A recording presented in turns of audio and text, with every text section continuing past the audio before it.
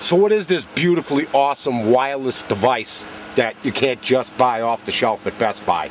Well, it is a, I don't know, approximately 2007-8 router from T-Mobile. It's the T-Mobile TM version of the Linksys Wireless G WRT54G router.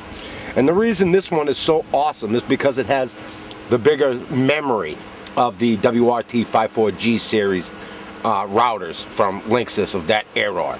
And there were a couple of them, several, to, to, as a matter of fact, versions of each. And this is, in my opinion, happens to be the best of them all. And it's still working, the same router in a video that I made for you guys back then, 2009 I think it was. And I made several more after that.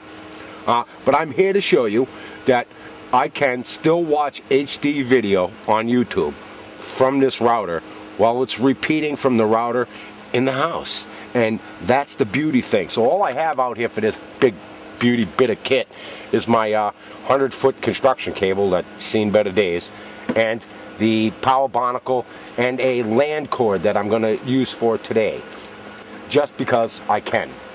And I can certainly run the wireless uh, to this, from this to this, and have it be a repeater bridge so that I can uh, use my laptop wireless to talk to the router. However, for today, we're just going to use the cord and just let it repeat one signal as opposed to repeating itself back and forth like uh, monkey in the middle there.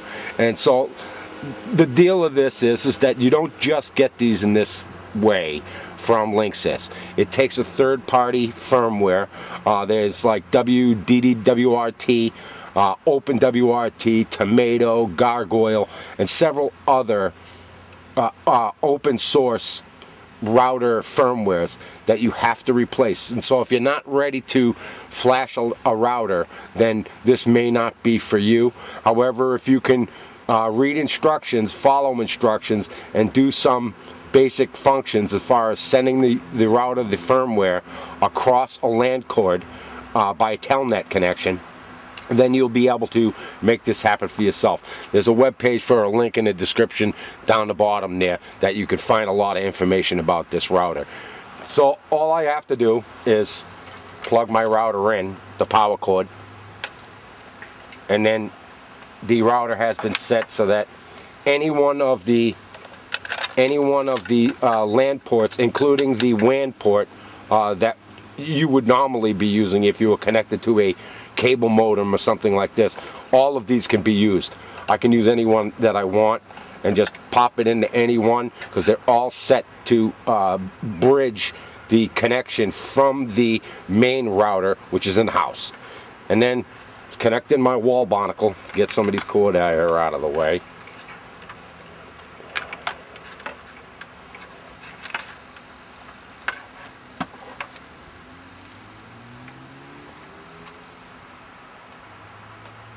Plug this into my router over here, my uh, my LAN port into my laptop.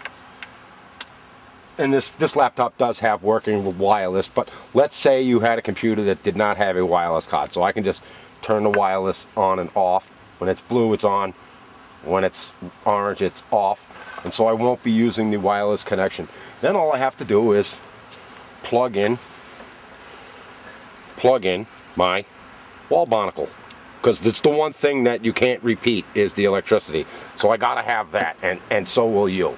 But the point of this story is, is that if you have a router in the house and you're out in your garage and your wireless is terrible, you can use something like this to repeat the signal in the house and send it back out and then connect to this router as opposed to the one that's in the house for your wireless signal. And you can see she's she's booting up, she's starting to flash some lights. Uh, you guys saw me break this router and, and then start to fix the uh, antennas there back, I don't know, back in July or May or something like this, or whenever it was. But uh, yeah, there's a video over there about that if you want to see that. Okay, so now all I have to do is come on to my laptop, which hopefully you guys are seeing. Bring up, uh, this is a, a Ubuntu Linux box, and I don't know if you guys are seeing this screen here, but it's um, up here to my connections and I the I have this named out so that I can admin the router through a different subnet than the one that's the repeated internet connection from the house. And that's I got that named as wired connection number one. And my Ethernet connection number one is the one that is is being repeated from the house. And I don't know if you guys get to see that, but it's already connected just that fast. And then click on this and bang, bing, bang, bing. I got a I got a Bing screen or a Google screen or whatever I want. And just for ha-has, let us type in here WRT 54G dash TM and see whose smiley face comes up when we hit videos. And the reason we're doing this is is uh, so that I'm not connected to Google while I'm, you know, because I'm making videos for YouTube here. And so I just, I want to use somebody else. That's the, all the reason there. And hopefully you guys are seeing that. But uh, Jeepers, it's, it's like all of me.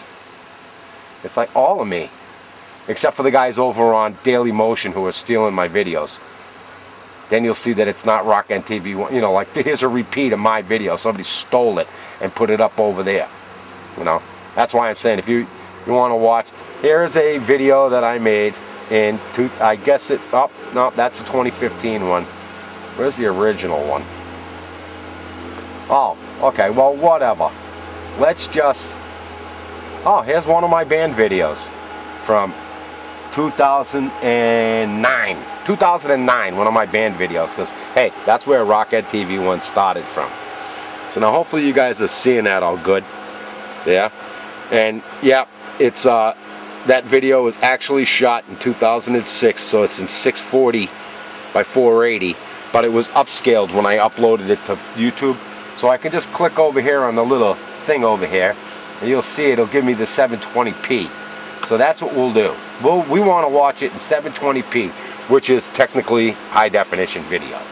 And then we'll just say go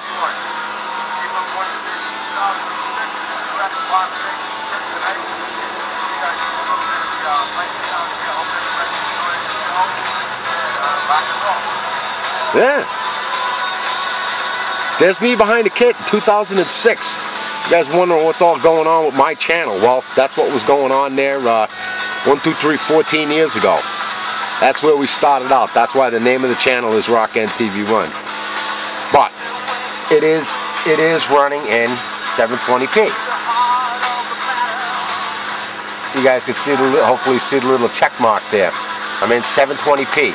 So with our beauty little 14, 15 year old router that is repeating a signal, it is giving me high definition video here in 2020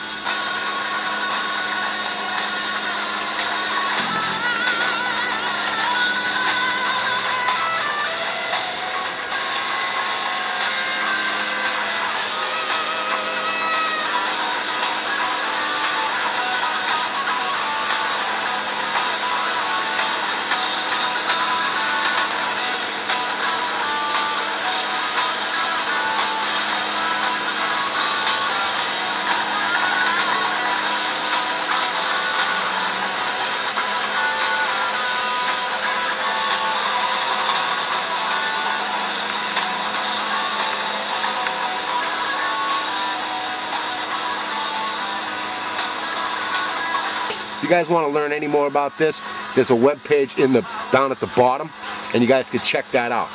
Hey, thanks for watching.